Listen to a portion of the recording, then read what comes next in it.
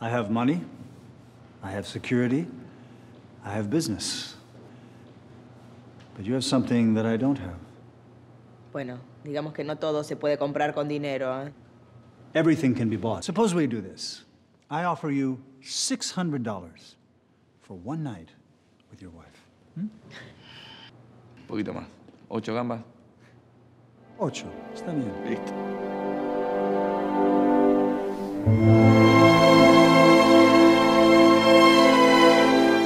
Hablando con la gente, repartiendo volantes, contando nuestra propuesta. Con Paola recorriendo algunos comercios.